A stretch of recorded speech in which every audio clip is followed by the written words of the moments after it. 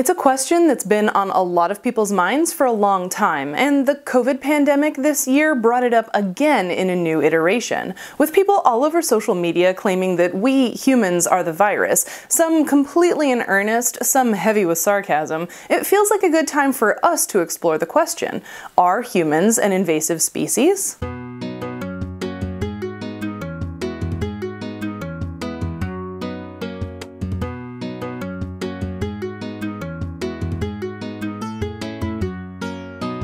Because so few of the things we discuss on this channel have simple, straightforward answers, let's go with the literal meaning of this question.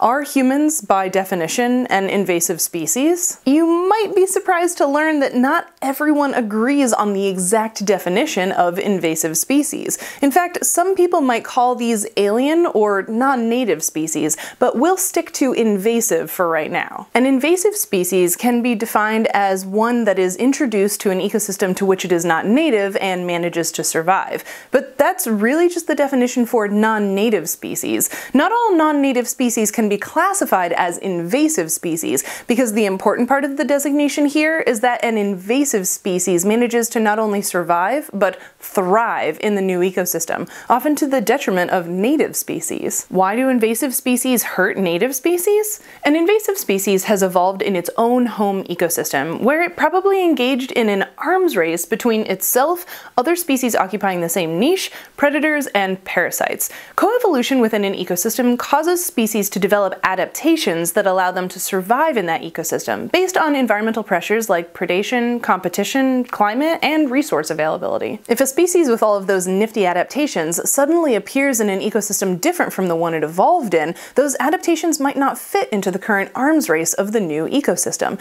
In some cases, a species with poor fitting adaptations might die die rather than be able to survive in the new ecosystem. But species that become invasive do so because their adaptations give them competitive advantages over native species. You can check out my recent Turf Wars challenge video for an example of native and invasive shrubs in North America. Once a species becomes invasive, it can outcompete similar native species occupying the niche it uses, sometimes even causing native species to become endangered. This can cause ecosystems to cascade into multiple failures, including lost species and lost function, and these failures in turn can cause problems for human health, safety, and economies. The life strategies of invasive species also often make them difficult for people to eradicate, and billions of dollars are spent every year trying to mitigate their effects or remove them from the landscape. So, are humans an invasive species?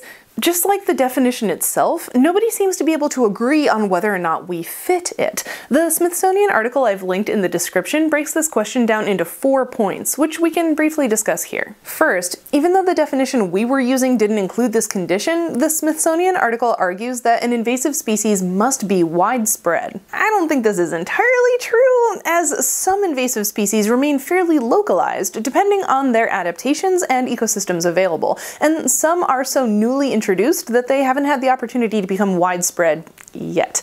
But it is true that humans are present pretty much everywhere on Earth, as well as circling around it outside of the atmosphere and even contemplating colonizing places like the Moon and Mars. The second point is that an invasive species must be introduced. This point is where a lot of people quibble about humans not fitting the definition because conventionally humans are the ones doing the moving of invasive species, intentionally or unintentionally, to their new ecosystems. So the argument goes that we can't be introduced because we're moving ourselves. It's an interesting technicality. I'm not saying I agree or disagree with this point, but it is important to consider that this argument may be made by people who hold very anthropocentric or human-centric views of the world, and who would be made uncomfortable if we treated humans like every other species of animal. Third, an invasive species is not native to the ecosystem in which it becomes invasive.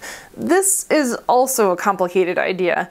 Our species, Homo sapiens, originally evolved in Africa, but rapidly spread outwards and established populations on every continent except Antarctica. This expansion was happening while some famous megafauna, like mammoths and giant ground sloths, were still alive. Those species have since gone extinct, and their ecosystems have done some evolving in the thousands of years since, and humans have lived in those ecosystems during that evolutionary time period. So does this make humans, as a species, native to all of Earth's continents continents except Antarctica? This is a sticky question that gets into a lot of complicated sociological discourse that's still happening, so I'm going to stay away from it for now. But as I say so often on this channel, I'm here trying to give you pieces of information so that you can make your own determinations about these big questions, not preach definitive answers where none exist. Fourth and finally, invasive species, by virtue of their competitive advantages, cause harm to the ecosystems they invade, which can include loss of native species as well as harm to human health and economic stability.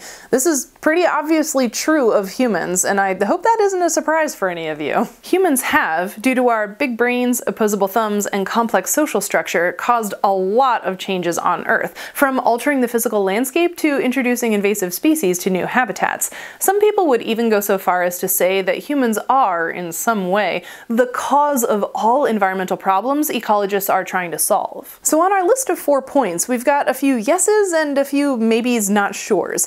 Both the Smithsonian article and the IUCN, the organization responsible for listing endangered species, have determined that humans cannot count as an invasive species. But that doesn't mean we shouldn't be mindful of how our actions shape the place where we live and the other living things we share it with. So, what do you think? Should humans be officially listed as an invasive species? And if so, what use would that designation have? What can you do personally to lessen your negative impact on the environment? I'd love to hear your thoughts down in the comments. If you liked this video, don't forget to like it. If you didn't like this video, please share it with someone who would.